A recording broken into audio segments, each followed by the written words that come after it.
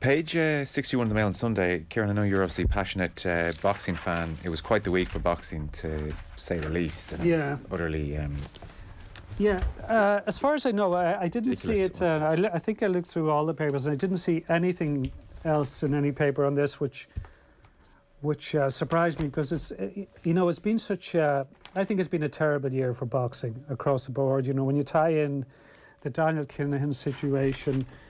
Uh, the sanctions that were brought against him, and you know, and the relationships within boxing that were highlighted before and subsequently. Uh, when you look at the embrace of Saudi Arabia and far less criticism of boxing doing it than golf is getting, that boxing seems to be given, you know, allowed to get away with this. Uh, the Olympic situation, which unless there's something extraordinary happens, boxing is gone from the Olympics after Paris 2024. And what really struck me about the the, Olympic situation is uh, the lack of reaction. mm, You know, because like Kellie Harrington's autobiography is coming out on October 27th. And she collaborated with Roddy Doyle on that. And Roddy is a, a Booker Prize winner. And the only pe- person he's ever done a book like this, like a, a ghosted book with before, is Roy Keane. So it shows the kind of national figure Kellie Harrington is. And that's because she's an Olympic champion. But boxing is going for the Olympics, and there's hardly been any reaction. Like across the media, I've seen very, very little conversation, and it shows how shallow the interest in boxing is, and how how marginalised in a way is becoming. And a story like this just increases it because people who don't know is there, there was supposed to be a big fight last night in London between Conor Benn and Chris Eubank Jr. It was being sold to a large extent on the rivalry between their fathers in the 90s, which are, you know, they're fights that when, you know, were um, iconic. iconic, yeah, is probably a decent word for it, yeah. But um, Conor Benn, uh, Riath Al-Samarrai of the Daily Mail, is a very good journalist. He's been very good in the Kinahan story as well. He was a proper journalist. He he found he revealed, I think it was on Wednesday, Yeah. that um, Conor Benn had failed a drugs test for, um, if I can remember offhand, I think it's called Climaphone. Clomiphene. Clomiphene, which is a, a, a fertility drug used by women, but it also uh, increases testosterone levels, so it's, it can be used as a PED. And I'm waiting on the, uh, the B sample, the, the version of the B sample, but it looks like that the authorities knew about this for a number of days before this story was revealed. And they only there was only a statement from the British Boxing Board of Control two hours after uh, Riath Al-Samarrai uh, published the story, and they called for the fight to be pulled. And it raises one, one huge question. Then the promoters, which is Eddie Hearn and the Wasserman Group, they tried to go ahead. They wanted the fight to still go ahead, Yeah. and Eubank was saying, and if you look at doping. Doping is more dangerous in, in, in boxing than virtually all other sports. If you're running against a sprinter who dopes, you're not putting your life on the line. But if somebody is doped, they could have serious power. And there, there, there, are, there are instances of fighters who've gone in against doped fighters and have got a serious beating. And, you know, it's, it, you know, fighters have lost their lives or had life-changing injuries because of what's happened in the ring. So you couldn't allow... You, you know, the willingness to allow dopers into the ring is scary.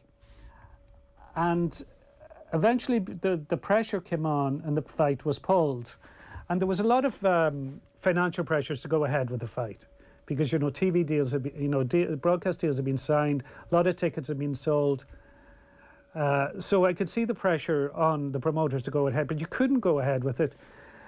You know, fl- the boxers on the undercard will really suffer for this because they would have paid for their training camp and they'll end up not getting any fee out of it. But this story in the Mail by Edmund Wilson finds that uh, Eddie Hearn, and I have no reason to, I, I would say Eddie Hearn's company is pretty representative, that this would be the case with other promoters, but that he's found that a study by the Mail on Sunday has found 30% of all main event fights staged by Eddie Hearn this year involved at least one fighter who has failed a dope test or been sanctioned for an anti-doping offence. And just as an example, on the undercard of Anthony Joshua's rematch with Andy Ruiz Jr. in Saudi Arabia in 2019, five boxers on the undercard had tested positive for doping. during their careers. This wasn't a testing careers, yeah. in advance of Yeah. that fight, but during their during careers. their careers. yeah. And you know, as as is pointed out here, no, not all. Um, uh, Hearn and Matchroom don't represent all the fighters on the cards they promote, you know, so it's not to point the figures at Eddie Hearn, but it just points out how widespread doping is, how often, uh, because of the, you know, this is something that came up with the Kinahan situation, the lack of governance within boxing, that there's no proper international governing body. So you can be banned by one sanctioning body, but you can fight elsewhere. Yeah. You know, there was one boxer, uh, his name escapes me, who, wasn't allowed to fight in the US, but he was fighting in Europe and UK, and he was he would test positive Yeah. for pretty serious PEDs. For, for me, it's good that the piece in the paper. I, I don't think making it about Eddie Hearn is the right Yeah, point because Eddie Hearn represents so many fighters that, of course, if boxing has a problem, then some of his fights are going to have problems. It's a boxing wide problem. It's not an Eddie Hearn problem. Although his behaviour this week was nothing short of reprehensible. yeah, And I mean, there's still so many questions. As you said, what was going to happen before that mail story was published. And we're told that this sample was, um, the results were in by September 23rd. yeah. And it may even have been taken before that, late August, some people have claimed. And the B sample was never tested. Yeah. Therefore, that gave wiggle room to say, well, look, due process and the B sample hasn't been tested yet. Now, in 99% of cases, the B sample validates the A sample, but also it shouldn't take very long to test the B sample if you tested the A sample. Yeah. Why had they still not tested the A, the B No, sample and there's a, by there's a October? couple of really important questions. One of them is, Joe, uh, if Riath Al-Samarrai hadn't got wind of this test and published this story, Yeah. would the fight have gone ahead? Well, and sus- uh, the one that comes yeah. off that, that's related to that is has this ever happened before? Because you would suspect now the way this operated, uh, because this only came out because of a leak, Yeah. that there have been fighters who tested positive before and the fights have been allowed to go ahead. You know, there's a lot of reason to suspect that's the case. Yeah. Well, the the other um, point to make as well, and and it just uh, exposed further what everyone suspected, which is that vested interests wanted to ride roughshod over all um, right thinking, including Eddie Hearn. So Eddie Hearn's talking all week about look, B hasn't been tested. He's passed every other test. He's entitled to process. This was only a VADA one. He's passed all the UKAD one, all that kind of stuff. And then what quickly came out, and it's quoted here in the Edmund uh, Willison piece in the Mail. You may have seen or heard the clip, but Eddie Hearn was on the other side of this kind of scenario when one of his fighters was against Billy Joe Saunders. And again, he'd failed a drugs test in the lead up to the bout. And this was voluntary testing as well. And Eddie Hearn back in 2018 is literally saying, What's the point in signing up for drugs testing if when you fail, everyone just goes, Oh, don't worry about it, let's just let him fight?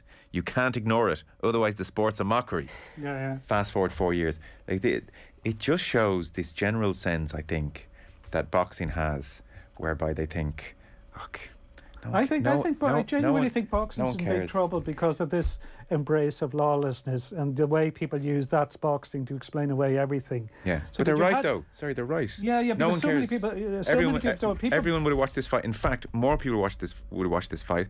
And I heard Steve Bunce on Yeah. Five Live, who was not condoning what had happened. No. But he was on Five Live in a radio discussion on Thursday night saying, look, Benn needs to go away and if he needs service time, service time, whatever. But he said, when this fight eventually happens, Yeah. it'll be bigger because of this. Yeah, now, yeah. he wasn't saying that's a great thing, but he was stating that is the reality of the but, marketplace. but I think that's a problem with the boxing media Well, of course it generally, and Steve Bunce, you know, is a prominent figure within it. The boxing media generally that they are allowing a, a lot of them are allowing this kind of stuff to go by and just say that's boxing, and we. But is you know, it there was a- boxing or entertainment? Because I think that's it's entertainment, and it's like the WWF.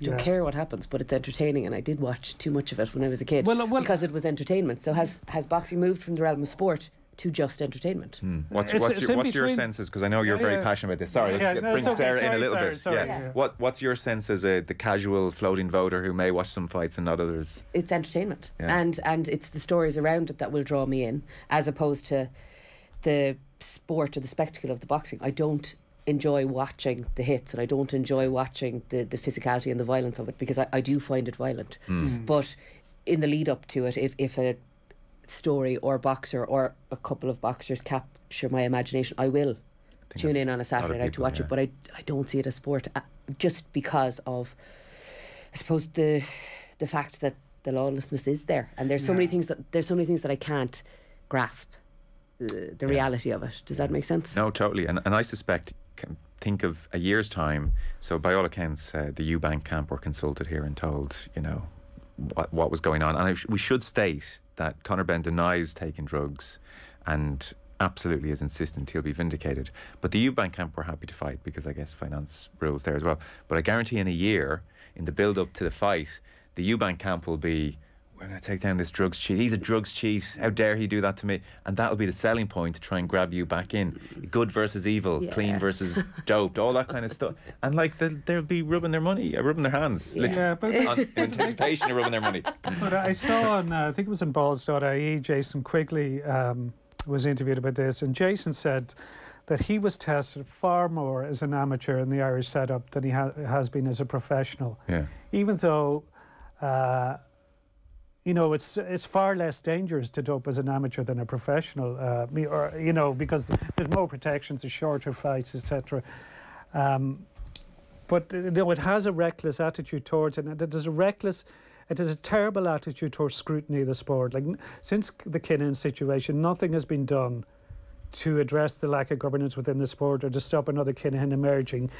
And on Thursday, a, a press conference went ahead that was scheduled, but the press conference started with an announcement that no questions would be allowed. Yeah. And Eddie Hearn read a prepared statement. And since then, Eddie Hearn did an interview with an online, an online outfit called IFL TV, who used to be financed by MTK Global, which glossed over the story. I know the British Boxing Board of Control have been asked for comment on this by various journalists over the last few days, and no comment has been forthcoming. So th- th- there's a huge lack of transparency within boxing.